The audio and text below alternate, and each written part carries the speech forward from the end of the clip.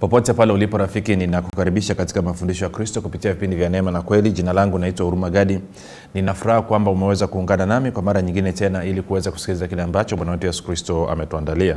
Kumbuka tu mafundisho ya kristo anakuja kwako kila siku muda na wakati kama huu yakiwa na lengo la kujenga na kuimarisha imani yako. Wewe unanisikiliza ili uweze kukua na kufika katika cheo cha kimo cha utimilifu wa kristo. Kwa lugha nyingine ufike mahali uweze kufikiri kama kristo uweze kuzungumza kama kristo na uweze kutenda kama kristo kufikiri kwako rafiki kuna mchango wa moja kwa moja katika kuamini kwako. Ukifikiri vibaya utaamini vibaya lakini kama utafikiri vizuri basi utaamini vizuri.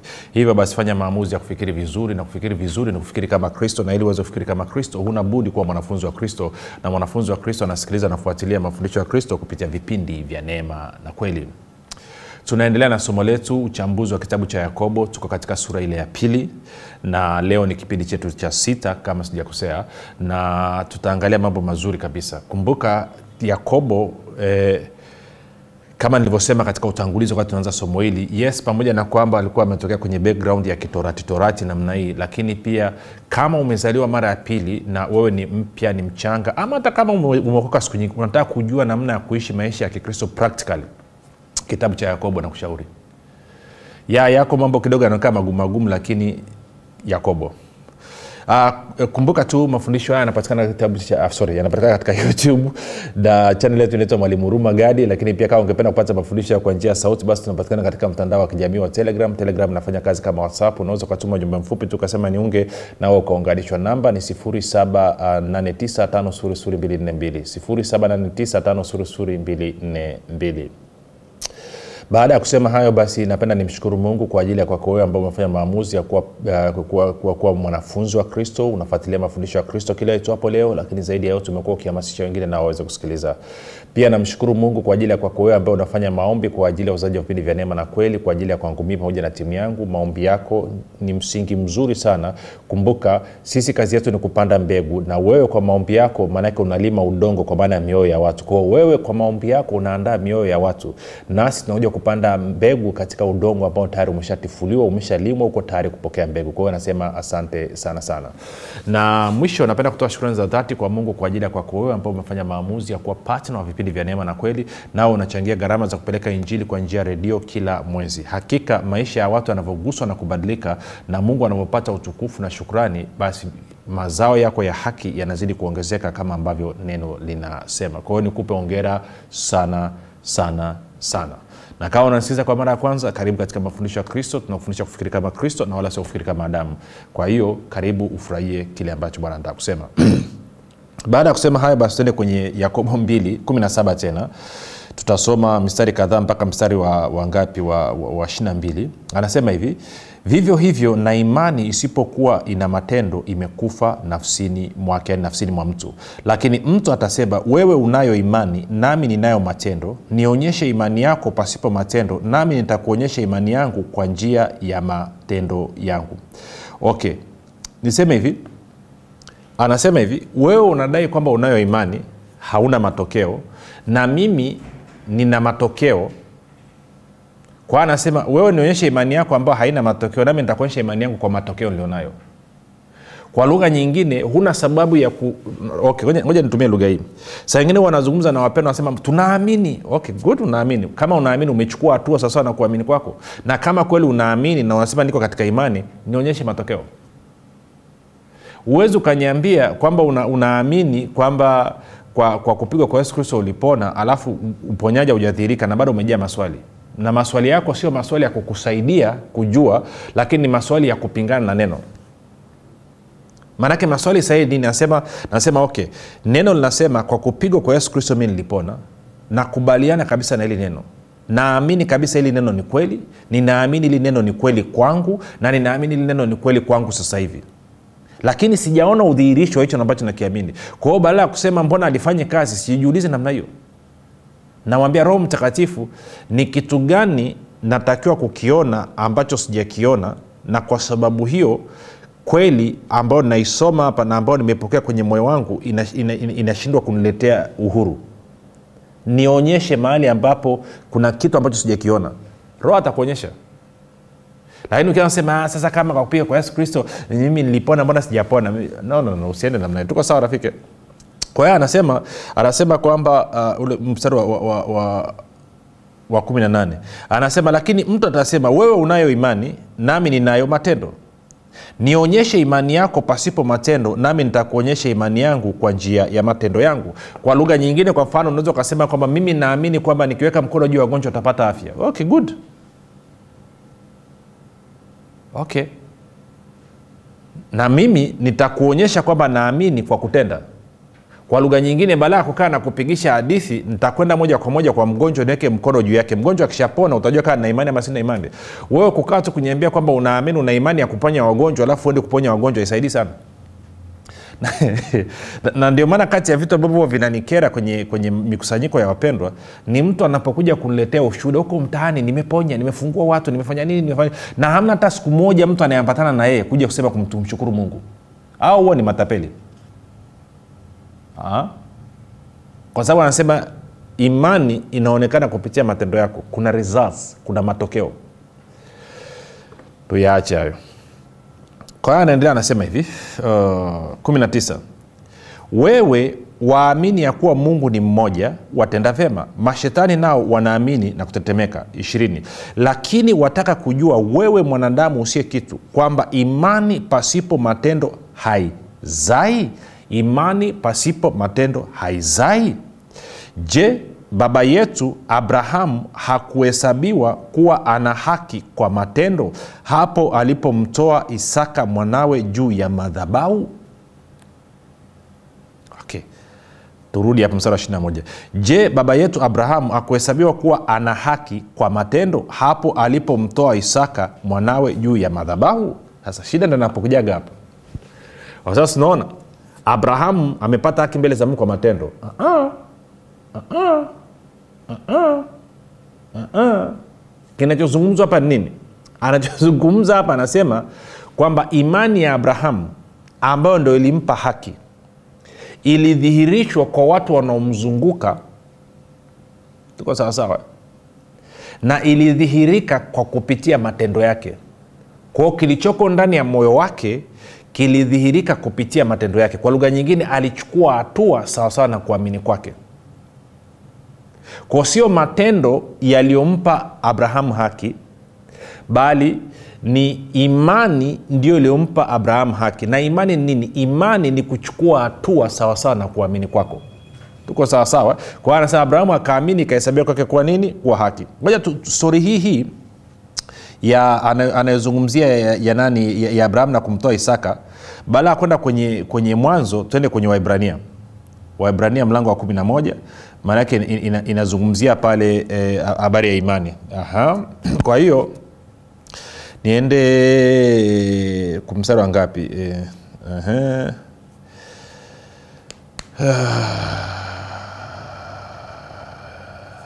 twende mstari wa 17 waibrania 11 mstari wa 17 anasema hivi kwa imani abrahamu alipojaribiwa akamtoa isaka awe dhabihu na yeye aliyezipokea hizo ahadi alikuwa akimtoa mwanawe mzaliwa pekee. Maana yeye aliyeambiwa katika isaka uzao wako utaitwa. Akihesabu ya kuwa mungu aweza kumtafuta sorry, mungu aweza kumfufua hata kutoka kuzimu akampata tena toka huko kwa mfano. Okay. Tende taratibu hapa mstari wa 19 niangalia kwenye biblia neno anasemaje. Maana kuna kitu kaa kimeachwa. Kwenye kiingereza anasema hivi new king james version. Anasema concluding that god was able to raise him up even from the dead from which he also received him in a figurative sense. Kwa anasema okay. uh,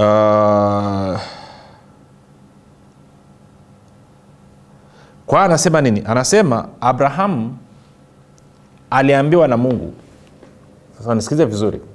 Ukisoma mwanzo 15 sawa? Kwenye mwanzo 15 mungu alimtokea abraham. Wakati akiitwa abraham. Akamwambia kwamba utapata mzao. Abraham akasema ya mimi huyu mfanyakazi wangu ndio mzao mungu akamtoa nje akamwambia aangalie nyota za mbinguni. Akasema ndivyo uzao wako utakavyokuwa bibilia inasema abrahamu akamwamini mungu na ikahesabiwa kwake kuwa ni haki. Kwao miaka mingi baadaye ameshapata mtoto isaka. Kwao abrahamu alijua kupitia isaka nitapata wazao kama nyota za mbinguni. Kwao mungu alipokuja kumjaribu abrahamu akaambia mtoe sadaka ya kuteketeza mwana wako wa pekee. Abrahamu hakusita kwa nini? Kwa sababu alikuwa anajua mungu ni mwaminifu na kwamba kupitia isaka nitapata wazao kama nyota za mbinguni. Na kwa sababu hiyo hata nikimtoa nikamtoa sadaka ya kuteketeza mungu anaweza kumfufua kumtoa kwenye majivu na akamfanya akawa hai. Na kwa maana hiyo akawa amedhihirisha kwa vitendo akawa amedhihirisha imani yake kwa vitendo. Umeshaelewa? Ndo kinachozungumza kwenye yakobo kule. Kwamba kupitia matendo yake alihesabiwa haki. Haki ya nini? Haki ya kuwa na wazao kwa alidhihirisha. Sasa nisikilize kitu hichi. Najua kwenye makanisa imefundishwa kwamba sadaka inayomfurahisha mungu ni sadaka inayouma. Huo ni uongo wa ibilisi. Sadaka inayouma na ambayo ina uchungu na ambayo ina huzuni bibilia inasema mungu hataki sadaka namna hiyo. Mungu anataka sadaka ya hiari sadaka inayotolewa kwa moyo wenye furaha moyo uliochangamka. Mtu anayekwambia toa sadaka inayouma kama abrahamu anakudanganya abrahamu haikumuuma kwa sababu alikuwa anajua isaka atafufuka. Hata akiwa majivu mungu anaweza kumfufua. Okay. Kwao ndarudia kule msara 17 anasema kwa imani abrahamu alipojaribiwa akamtoa isaka awe dhabihu na yeye aliyezipokea hizo ahadi alikuwa akimwona akimtoa mwanawe mzaliwa pekee maana yeye aliambiwa katika isaka uzao wako utaitwa akihesabu ya kuwa mungu aweza kumfufua hata kutoka kuzimu akampata tena toka huko kwa mfano kwa imani isaka okay. kwa hiyo maanaake ni kwamba abrahamu alikuwa na kwa sababu ya lile neno kwamba uzao wako utakuwa mwingi kama nyota za mbinguni.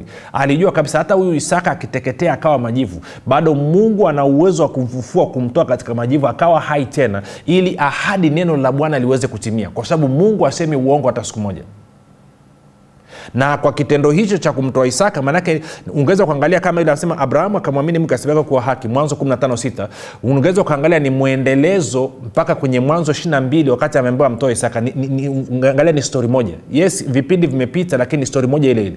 Kwa hiyo inamaana alimwamini mungu na kwa maana hiyo kwa kitendo cha kumtoa isaka maanake ni kwamba alidhihirisha imani yake kwa vitendo. Tuko sawa? Okay.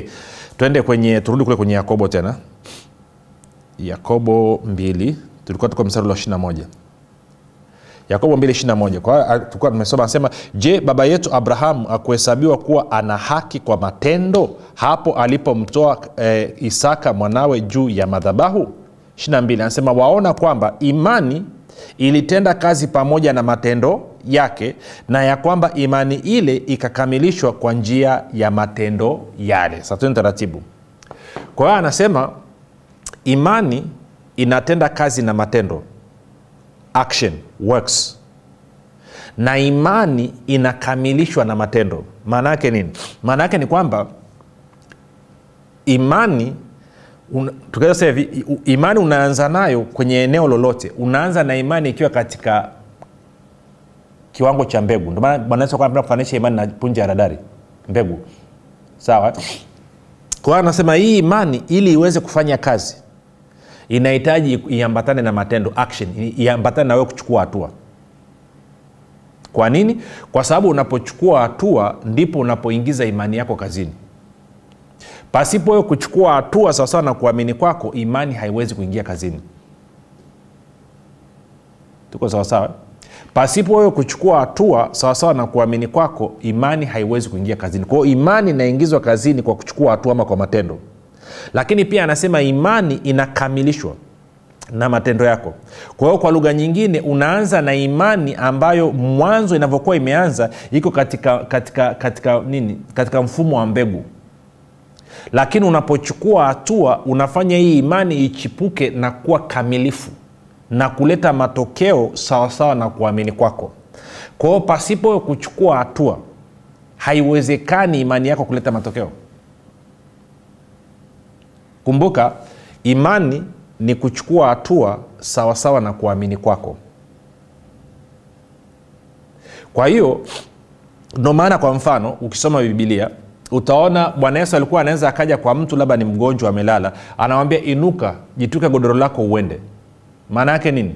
Anafahamu yule mtu atakapoinuka na kuanza kutoka kujitwika godoro lake maanaake ni kwamba anakuwa amechukua hatua sawasawa na imani. Sasa hiyo imani inaweza ikawa imani iliyoko ndani ya yule mtu ama inaweza kawa imani iliyoko ndani ya huyu mtu anayehudumia ambaye kwa, kwa kibiblia nazungumzia yesu.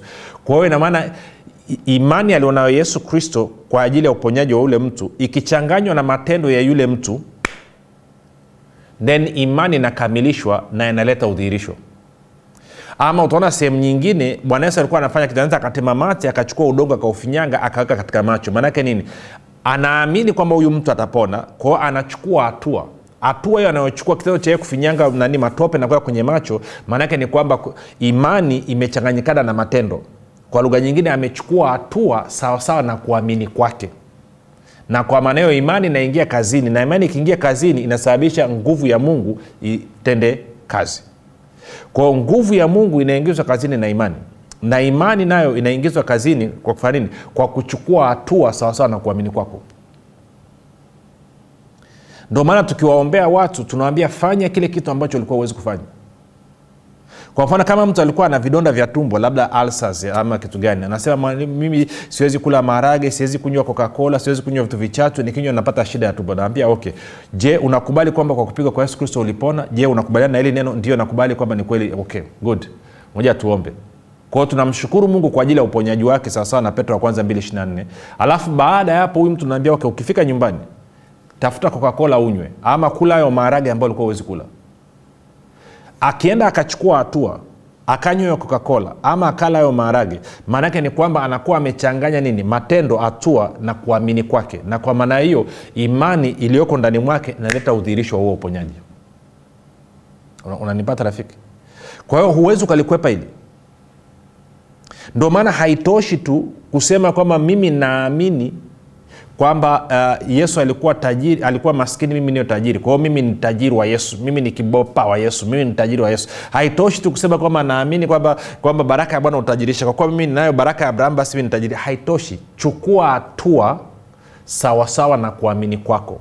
Unapochukua hatua sawasawa na kuamini kwako maana yake ni kwamba umesababisha hiyo hatua itende kazi na imani yako na hiyo hatua inakamilisha imani yako tungeweza kusema ni kama labda imani kiasi cha imani ulichopesa usije ukachukulia kama ni formula nakupa tu mfano. Tungeweza kusema ni kwamba kiasi cha imani kilichowekwa ndani mwako labda ni asilimia kumi.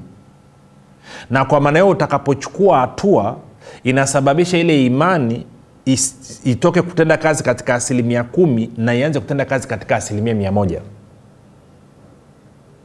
Sijui kawa nanyelewa okay, nikupe mfano mwingine ili uweze kunyelewa uh, kwa mfano nitoe mifano miwili maake najua ndo maeneo ambayo anatusumbua tuende na, na eneo la kwanza eneo la uponyaji. Kwao chukulia labda uh, uh, nime, nimetengua mguu mguu umeshtuka mguu unauma una maumivu kwenye kiwiku sijui kifundo cha mguu ama sehemu yoyote. Na kwa mneo labda na maumivu makali nachechemea okay neno linasemaje? Neno linasoma petro wa kwanza 224 inasema kwamba kwa kupigwa kwa yesu kristo ninyi mlipona. Okay kwa hiyo kufuatana na neno mimi nimepona. Lakini kumbuka mimi nina maumivu kwa hiyo nina maamuzi ya kufanya hapa. Ama niendelee kukaa nichukue hatua ya kuendelea kukaa sawasawa na kuamini kwangu ambako naamini naamini kwa mimi na maumivu siwezi kutembea. Ama nichukue hatua sawasawa na neno la mungu linavyosema ambao kuamini kwangu sana na neno la mungu linavyosema kwamba nini? Kwamba naamini kwa kupigwa kwa yesu kristo mimi nilipona. Kwa kama nilipona swali linakuja okay. Ningekuwa niko mzima seme ningefanyaje? Ningekuwa natembea. Kwao nitajanyuka kwenye kiti na kuanza kutembea.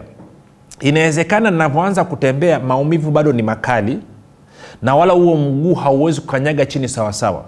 Sio tatizo nitaendelea kuzunguka kwenye hicho chumba nikiwa nachechemea hivyo huku namshukuru mungu kwa ajili ya uponyaji wangu. Kwa sababu gani? Najua kila hatua nayopiga maana yake inaruhusu imani yangu itende kazi na hiyo hatua. Kwa hiyo kila hatua nayopiga inakamilisha imani yangu.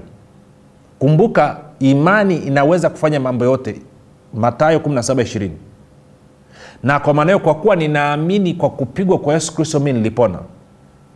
Kwa hiyo inamaana kila hatua nayoichukua kuzunguka katika hicho chumba ama nimetoka nje ajalishi huko wapi. Kila hatua ninayoichukua maanake kwamba ile hatua inatenda kazi na imani yangu kuleta udhihirisho wa uponyaji wangu. Kwao kila hatua ninayoichukua maanaake inaingiza imani yangu kazini na kukamilisha imani yangu ili imani yangu iweze kuleta udhihirisho wa hicho anachokiamini na ninaamini nini? Kwa kupigwa kwa yesu kristo mimi nilipona. Kwa hiyo inamaana kila hatua nayochukua kuna kitu kinatendeka ndani mwangu kwa maana ya imani. Na kwamba hiyo hatua inatenda kazi na imani. Kwao siwezi nikasema mbona nimepiga hatua hali haijabadilika no, no, no. hiyo inakuonyesha kwamba hujui neno linavyofanya kazi. Maana yake ni kwamba nikipiga nikazunguka dakika tano kumi nikaja nikakaa. Natakiwa nikae nikiwa na tabasamu. Hata kama hali ya maumivu haijabadilika kwenye mguu wangu nakaa nikiwa na tabasamu najua ninajua nimeingiza imani yangu kazini. Kwa sasa hivi imani napiga kazi. Kwao nitapumzika labda masali moja saa mawili baadaye nitaanza zoezi tena la kutembea huku nikimshukuru mungu nikimtukuza kwa ajili ya uponyaji wangu. Kwa sababu gani? Ndivyo ambavyo neno linasema kwamba mimi nimepona. Kama nimepona maanake na uwezo wa kutembea. Kwa hiyo ninapochukua hatua na kutembea maanake nimechukua hatua na kutembea sawasawa na kuamini kwangu. Na hiyo hatua inaingiza imani yangu kazini. Na hiyo hatua inatenda kazi na imani yangu. Na hiyo hatua inakamilisha imani yangu. Ndio maana nakwambia pata nakala ya kitabu cha imani makini kama hauna haya ni mambo nayazungumza hapa ni mambo ambayo ndani ya kitabu cha imani makini. Hakikisha umepata. Na kama ume, ume- umeshapata kitabu cha imani makini soma tena. Baada ya maelezo haya niliyoyatoa najua ukisoma tena utaanza kuona vitu tofauti. Ndivyo inavyokuwa. Kwa hiyo naamini unanipata kile ambacho nakizungumza. Okay tuje kwenye nani kwa mfano. Nasema naamini yesu kristo alikuwa maskini ili mimi niyo tajiri. Wakorinto wa pili 89 kwa hiyo tunasema okay sifa mojawapo ya mtu tajiri nini? Maanake tajiri maanaake ni kwamba anayo ziada na mtu mwenye ziada maanaake ni kwamba ana uwezo wa ku, kutumia alichonacho ama kutumia hiyo fedha na vitu alivyonavyo kwa ma, ma, matumizi ambayo sio mahitaji ya lazima ama mahitaji muhimu niseme. Ndo, ndo maana ya tajiri. Kuna mwingine kila hela yake anayoipata ni kwa ajili ya chakula. Hawezi hawezi hata kuchukua shilingi mia tano akathubutu kunywa soda. Akinywa soda ameharibu ame- ame- budget. Tuko sawa kwa hiyo kama naamini kwamba mimi ni tajiri kwa sababu ya yesu alikuwa maskini naanza kuchukua hatua. Nini? Nasema nitaanza kuchukua hatua kuwa mkarimu na kuchangia injili katika ufalme wa mungu. Nitaanza kutoa katika ufalme wa mungu ili ufalme wa mungu uweze kusonga mbele. Kwa kwa mfano nasema nakuwa patna wa vipindi vya neema na kweli. Na kwa maana hiyo naanza labda na shilingi elfu tano kila mwezi. Sasa kumbuka imani inatenda kazi na matendo na imani inakamilishwa na matendo. Kwa hiyo naweza ninapoanza kutoa ile shilingi elfu tano kwamba naamini ni tajiri inawezekana imani yangu ilikuwa katika kiwango cha asilimia kumi kama nilivyosema. Lakini kadi nitakapokuwa naendelea kutoa kila mwezi hiyo elfu tano maanaake ni kwamba sorry maanaake ni kwamba imani yangu inatenda kazi na matendo yangu. Ina maana imani yangu inakamilishwa na matendo yangu ambayo matendo nini? Ni kutoa kwa hiyo nikitaka kuharikisha naweza nikaamua kutoa kila wiki. Baada ya kusubiria kutoa kila mwezi nikatoa kila wiki. Nikasema kila wiki nitakuwa natoa elfu tano. Kila wiki natoa elfu inawezekana navyoanza mwanzo nisione matokeo ya udhihirisho wa utajiri katika maisha yangu. Lakini haina maana kwamba nyuma ya pazia hakuna mchakato unaendelea. Nyuma ya pazia maanake ni kwamba imani inakamilishwa na haya matendo yangu ya mimi kutoa kwa hiyo naweza saa ingine nikawa nimetoa hata miezi mitatu miezi sita. Sijaona utajiri wa kutisha utajiri wa kushangaza. Siachi. Maanake najua kila ninavyotoa maanake nazidi kukamilisha imani yangu. Ndicho ambacho yakobo anakizungumza hapa. Alafu siku ya siku ghafla unashangaa kila kitu kinafumuka. Unashangaa ukilima mambo yanakwenda ukifuga mambo yanakwenda unapata connection za biashara. Ghafla wa, na watu wanadhania kwamba ulala ukaamka no, no, no. maanake ni kwamba ulikuwa unachukua hatua za makusudi hatua ambazo zilikuwa zinafanya kazi na imani yako na kwa maana hiyo imani yako ikawa inakamilishwa na ikafika siku imani yako ikawa fulu mziki wenyewe wanasema watoto wa mjini. Kwa hiyo ikawa full operation ikawa imekamilika inatenda kazi kwa ufasaha na ufanisi. Ndio maana watu wanaosema anajaribu kutoa miezi miwili mitatu alafu anaacha. Anasema baada hapo ntaona hawa watu huwa wanaenda vizuri alafu wanarudi nyuma. Usi, usiache. Ukiacha maanaake umeingiwa na shaka kwamba nini? Kwamba wewe sio tajiri una uwezo tena. Na kwa maanao unakuwa umeondoa imani yako kazini umeipeleka sehemu nyingine. Baada ya imani yako kutenda kazi kuleta udhirisho kwamba wewe ni tajiri imani yako inaanza kutenda kazi na kuleta udhirisho kwamba wewe ni maskini hauna. Unanyelewa una, una jinsi inavyofanya kazi? Kwao ni muhimu ukalielewa rafiki ni muhimu ukalizingatia kwamba imani inatenda kazi na matendo yako na imani yako inakamilishwa na matendo yako. Jina langu unaitwa huruma gadi yesu ni kristo na bwana. Tukutane kesho muda na wakati kama huu